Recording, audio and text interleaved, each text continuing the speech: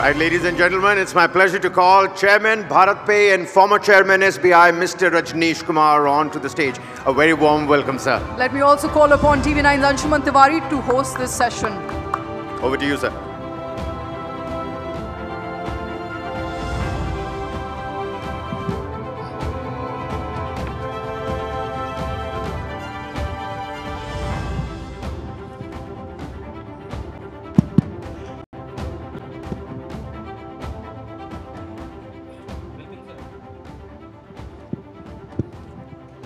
I begin, uh, uh, I was reading, uh, recently reading this famous book of uh, Richard S. Thaler, and he said very interesting thing, which is I think probably connects with the India's fintech story, is this first, never underestimate the power of inertia, and second, the power can be harnessed.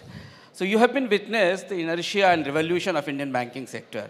You've been all the way through that, seeing the transformation of Indian banking industry uh, from a from a manually labor-oriented industry to the digitally powered one. one. and uh, uh, before we begin this discussion on the on the fintech, uh, would you like to share some personal experience that how you have been all through with the two different generations of, of Indian BFSI industry? Yeah, so I joined the State Bank of India in 1980.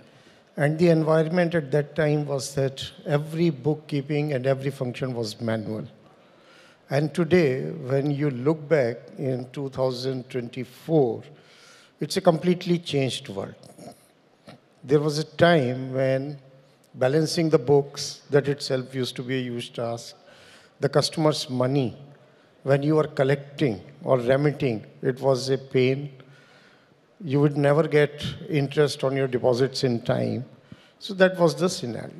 And then gradually thereafter, uh, I would consider 1984 as a watershed moment in the history of banking when a bipartite settlement was signed with the unions which allowed computerization of the banks. At that time, there were not many uh, private sector banks in the form what we see today.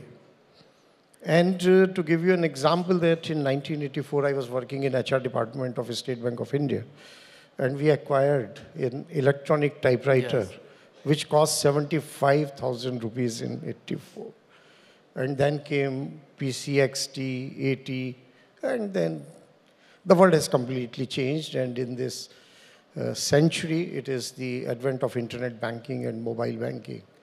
Like any other service people consume, so banking is now mostly consumed through uh, mobile banking and internet banking. So it has been a long journey. It has been helped by the fact that in 1991, uh, the Indian economy and the banking system was unshackled. There was a rise of what we call new generation private sector banks, likes of ICICI Bank, HDFC Bank, uh, UTI Bank, and now which is called Axis Bank. And that brought in competition, that brought in a new approach, that brought in adoption of technology in a big way.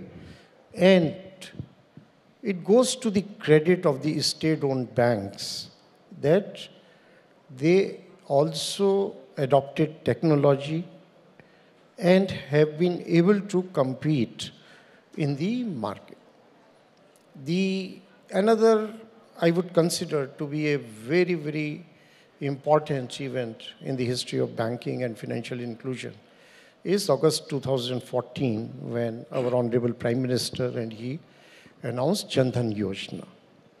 So the ingredients were there for that program to succeed. It's not that there were no financial inclusion initiatives in the past, but August 14 brought a paradigm shift, and when 35 crore accounts were opened, and that is supported by again technology, it is impossible to open and manage such a huge number of accounts, and that too in the remotest area of the country, unless it is supported by the technology. And of course, there was another important ingredient was the business correspondent model. So with this two and Jam Trinity, and that is what has done wonders for the banking system in India. Uh, payment system again, like uh, I'm sure you will be asking the question. So I will cover there, but this is the opening remark that how in this 40, uh, 40 years, uh, the face of Indian banking has completely changed and it is amongst one of the best in the world today. Sir, uh, definitely uh, Indian banking and finance industry has seen a metamorphosis in just one decade, uh, the way you have seen it going. Uh, but cash still remains the king. And uh, with your experience in the traditional banking and now the new fintech banking, which is called neo banking, how long do you think that cash will remain in the dominance, considering the rise of uh, digital transactions? One is that uh, as far as cash is concerned, it is the easiest way of doing transactions. It cannot be denied. And uh, there is an explosion as far as the digital transactions are concerned, and uh, particularly for a small value and uh, cash in circulation in the economy after demonetization as percentage of gdp it has come down by about half percentage point. But still the convenience of cash. Uh, we will try to replace but it is not happening. Uh, but sir here comes a puzzle uh, that despite uh, the concurrent rise in digital transactions and explosion of currency in circulation, this infusion of money into the system has not seamlessly translated into the consumer demand of uh, uh, demand in the GDP. And can you unravel this, this whole mystery about us? Because we have got enough money available in the market system, both in the digital and the cash, but the GDP growth is not reflecting that supply of money. No, I think we are growing decently as far as GDP is concerned, and particularly in nominal terms the GDP growth is around 13 to 14 percent. And uh, uh, for GDP, there are so many things. Uh, it can be consumption-led, it can be infrastructure-led. So in our country, what is happening that uh, I agree that consumption has not grown as much. But on the other side, the investment in infrastructure, uh, which has increased at least almost, I think, fourfold. Now the uh, central government budget alone is about 11 trillion rupees or 11 lakh crore rupees. And infrastructure, we know, it has huge multiplier effect. So to say that GDP has not grown, uh, I won't agree with that statement. I think we are doing quite a decent job considering the overall global geopolitical scenario and uh, India is today considered to be the only shining example as far as GDP growth is concerned. The uh, disposable income, you may say, or the consumption, uh, I think even today there is uh, some analysis which has appeared in the newspapers that the gap between the rural and urban consumption, yes. it is coming down. So it's, it's happening, but uh, of course, the elements which are driving the growth and the productivity of our economy, they're a bit different. So now I come to the difficult part of the fintech industry. Suddenly, from a success story, fintech has emerged, emerging as one of the primary risks for the core banking industry. Uh, there are a lot of vulnerabilities has been come off late. Uh, RBI has started uh, tightening the screw of regulations. Uh, as part of your uh, old regime, you are part of the old core banking, and now you are leading a fintech uh, uh, revolution. What are the core, core vulnerabilities you think the digital transaction and entire fintech space has that? And have regulators failed to anticipate these inherent risk of connected banking, which is now started creating a lot of problems across the banking universe? No, as far as connected banking is concerned, I mean, that is something you can't wish away it will remain. We live in a connected world, whether it is banking or whatever uh, services you consume today, you do it through a connected world, whether it is your personal transport need, whether it is your health. So you take any example and you can't live without a mobile today, that is the reality. And uh, about the risks, whenever something new happens, new technology happens, even the previous sessions there was a discussion. So whenever something new happens, it brings in certain positives and it brings risks. So today in the connected world, the huge risk around cybersecurity, the huge risk around data protection, frauds, cyber frauds, all those risks are there. But one thing uh, uh, which has come out very clearly is that if anyone is part of a highly regulated ecosystem, then even if a fintech is not directly regulated, but they work closely with the regulated entities. And regulated entities, we know from experience, I have chaired the State Bank for three years, I was its managing director, risk and compliance. Regulation is a different ball. To the credit of the young entrepreneurs, they have brought in a lot of innovation for the benefit of what we call financially excluded. So fintechs have played, and I'm talking more on the payment and lending side and investment side. They have done a wonderful job. But there is a certain responsibility cast on the regulators. You would have heard of FATF. Yes. Nobody would like India to be in that grey list, you know. And then you have to regulate the system. I think three primary things, apart from many, many functions which a central bank or regulator does is, uh, one is that there should not be a systematic risk developing. Second is consumer disclosures and protection. That is a must. And the rules around what we call KYC and anti-money laundering. So if anyone, for that matter, fiddles around that, But uh, how do you view this crackdown on Paytm?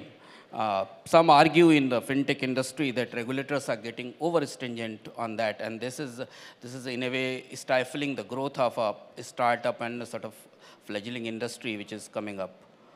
uh, I really don't know what is the inside story. Whatever you know, I know that is all what we have read in the newspapers or seen on the television.